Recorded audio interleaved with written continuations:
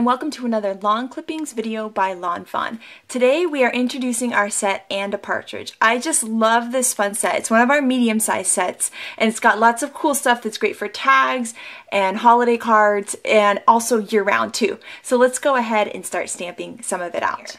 I like to, on these big kind of solid stamps or backgrounds, I like to bring the ink pad to the stamp to make sure I get it covered really well. I'm just doing that. Stamping it in black so it's nice and clear on the video screen here. With solid stamps, I always like to give it a little bit of time. I learned this from my friend Nancy, and I always hear her voice in my head. Just be a little patient, let the ink transfer to the paper. A lot of ink has to transfer and lift up, and you get a really great image. I just love it. It's so cute. Okay, so let's go ahead and stamp out some more stuff. There's a really fun little border builder in this set, and I love it. I love it. It's kind of got this little 60s feel to it, and um, it's great for the holidays, red and green and that kind of thing.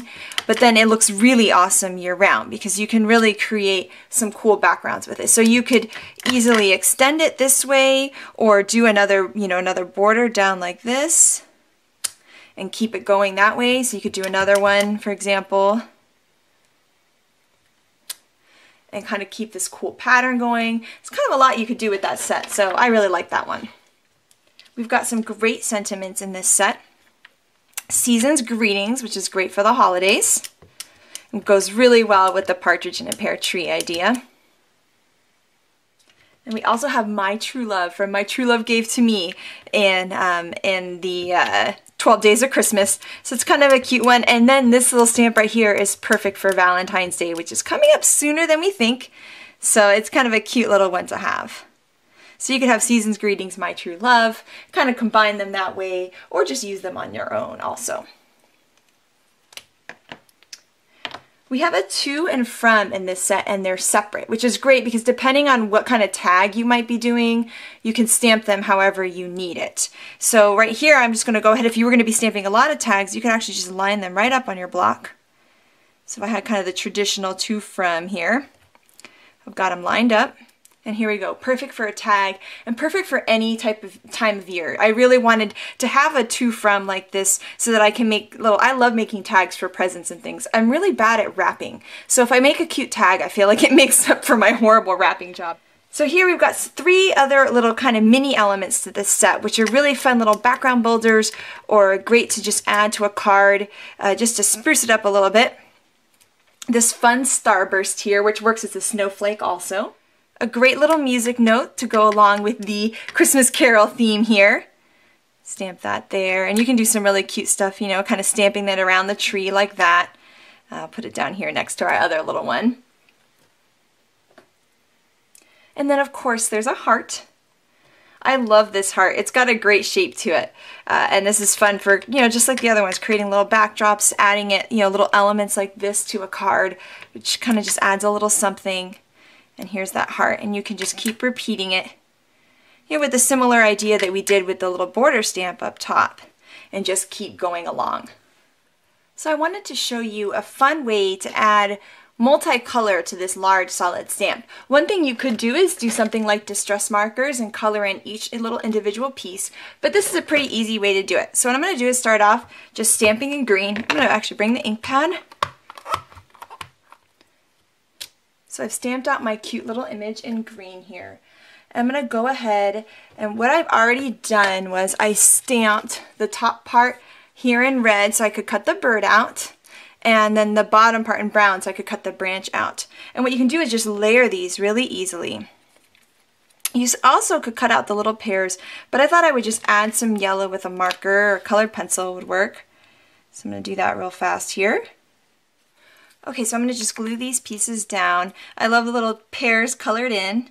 And some liquid glue is great for that because then I can get into all the little nooks and crannies. And now our cute little bird. So now you've got a multicolor versus the solid. I like it both ways. I think it's really cute either way. And it's really easy to do this because you just have to stamp three times and do a little cutting. Okay, so we are going to make a fun, really easy to reproduce tag today. So I've got this piece here, this is two and a half by four and a half, and this one is two and three quarters by four and three quarters. But we're gonna start with this one, and we're gonna heat emboss with silver. So it's gonna, it's gonna look beautiful. So we're gonna go ahead and just kind of stamp this out. What I like to do with this, uh, with this partridge and a pear tree stamp is I like to kind of stamp it off the edge a little bit. I think it adds a little bit of interest to the tag. So it's just not right in the center, you know, just a little different. So there's that. Then we're going to go ahead and stamp this cute little leafy pattern to add a little something on this side. Right there. And then we've got our to and from, perfect for a tag. I'm going to heat emboss that right up here. So I learned last time this new mat that I have does not like the heat gun. So I'm going to take out my old mat that does like the heat gun and put that out there.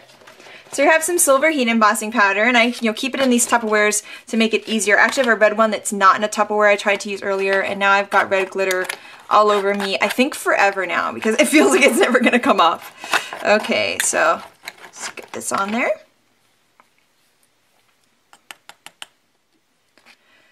Okay, perfect.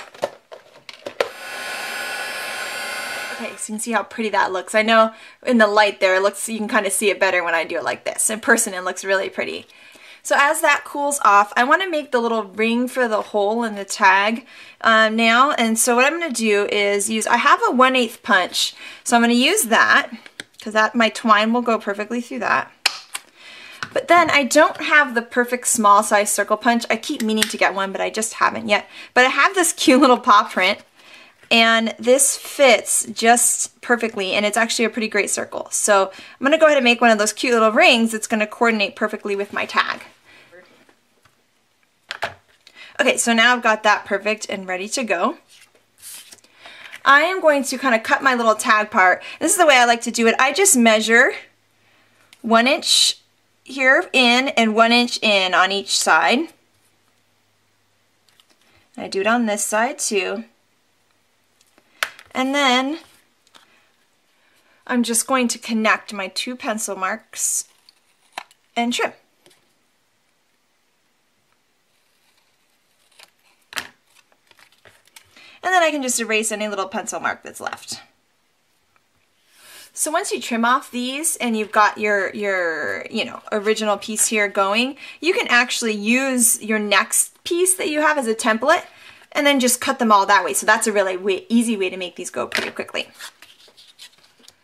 Okay, so now we have our other little cardstock piece and we're going to adhere these together.